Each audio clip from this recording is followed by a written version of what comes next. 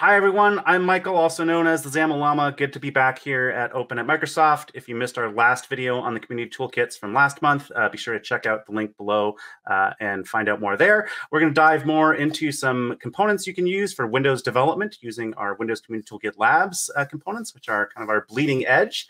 And so I've got uh, Niels here with me today to show us that. So let's uh, let's stay tuned and uh, check it out. All right, Niels, why don't you uh, show us what we have today? Yeah, let's uh, let's. I will share my screen, and then let's uh, go over to the repo. So in our labs repo, we have a couple of experiments running at the moment. Um, folks are, you know, open for, or we are open for folks to basically contribute new experiments or new ideas that they have. Um, but what's maybe even more exciting is if we go into our labs um, gallery application to basically show some of those experiments that we've been uh, building out, then together with the community and also with a few partners across Microsoft. Um, so the first tool that I want to uh, highlight is our new uh, marquee text control. Um, this was contributed by uh, by a community member, uh, and it basically allows you to very easily, uh, you know, create these um, moving tickers almost that you often see in, in some of the applications. Um, you can change all types of things, like the direction that you wanted to uh, wanted to go, uh, or even the behavior if you want to make it loop uh, or bounce. Um, and it's really nice to see, you know, how they leverage the uh, labs infrastructure to get this control into it. So we're really excited to get this one uh, into uh, Toolkit 8.0 soon. Yeah, I could I could um, see this being useful for like you know different notification scenarios and everything like that. Um, and the great thing with our sample app too is like we have the link that will take you right to the discussion to find out more about uh, this experiment and all those sorts of things too. So, um, so yeah, really really cool stuff to see. What what's next?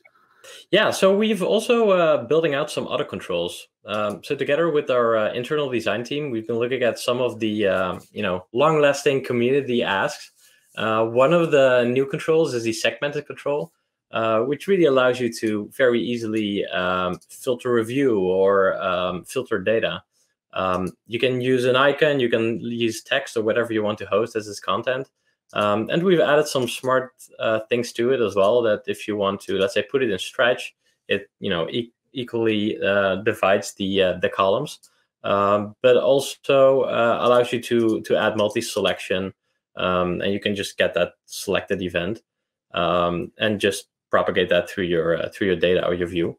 Um, we're also thinking about adding some additional styles. Like this is a, a almost like a modern pivot style that we call it, uh, and this allows you to have that same control, but then with a you know a bit more of a lightweight style that you can use to again you know change data or uh, or a specific view. It's really cool. I see a lot of different types of apps these days trying to do do these types of experiences. So so having this kind of built in as a control that's just super super easy to use. Um, can you kind of show what it what the XAML looks like quick there? Sure, that's yeah. a capability me, we have, right? Yeah, right, perfect. Yeah, let me open that up. Yeah, so you can basically use the segmented control and then set uh, you know the different segmented items as a as a child. Um, the cool thing about our samples is uh, everything is interactive, so you can just you know see it in the app see the code as well, um, and you know copy and paste it into your own app, and you're uh, you're good to go. Awesome. What's next? Yeah, so another control uh, that we've been building out over the last couple of months, uh, together with some other groups across Microsoft, is this new settings control. Um, I think you've shown this before. Very briefly. right, right, right. But let me take you through it because it's actually quite, uh, you know, quite a handy control to create settings pages, which is also a thing. Um, so we have two controls. So we have the settings card and settings expander. Uh, the settings card is, as what it says, you know, it's a card and it will host the header, the description you can put in, you can put in an icon and whatever content you have. Um, the cool thing is, is that um, there's a lot of logic behind the scenes that basically make sure that it always renders correctly in terms of where we put the icon. Uh, so if you don't define an icon, you can see that it like, you know, nicely renders to the left. Um, and if you go over to the settings expander, um, it's just very similar. So it actually uses a settings card um, uh, as its base as well, but you can expand it and you can put different settings cards um, in, in the content. And what's nice there is that we automatically overwrite the style so that it, again, looks very much like the settings that we see in Windows 11. Uh, you don't need to do anything there. Uh, you can just uh, put in a settings card and we'll make sure that it renders correctly um, across all of these uh, different expanders. You can also make some of these controls uh, clickable. Uh, so it then just gives you a click event and you can launch a website or do some other stuff. Um, it's super flexible, but you know also very easy to use. And I think that's that's a really nice example of that you can do a lot of customization, but still out of the box, it just renders the way that you would uh, would like to. Yeah. What does really this nice, What does this code look like?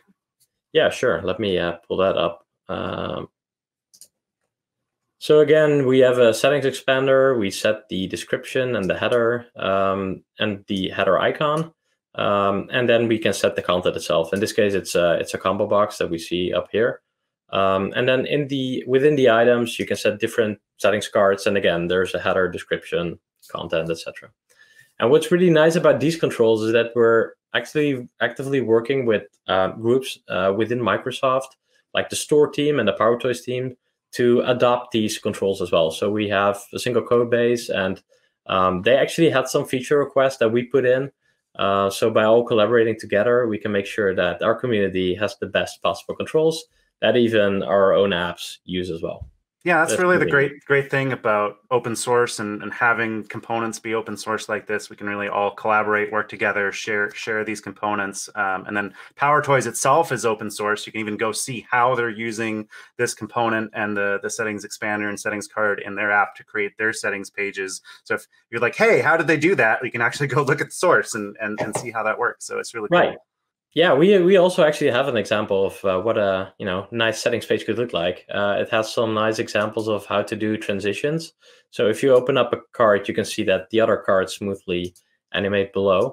Um, and also on load, we do some uh, stuff, and that's actually just two lines of XAML to do this, uh, which are these uh, entrance and these reposition theme transitions, and they uh, you know they make all the difference because it looks way smoother and something really you know it feels very fluent. So that's really cool. Yeah, that's really awesome. Sometimes it's those little subtle details that make the the largest difference for folks that are using an app and and really, you know, they might not think of it consciously, but it really makes things pop and and really kind of makes that big difference to uh, to an experience that that they'll be like, okay, yeah, this was this was it's not not like three or four stars, but this is what made it five stars. They won't be able to tell you what it is, but it's like those types of little details that if you pay attention to can can really kind of make things uh, knock things out of the park yeah, um, for sure.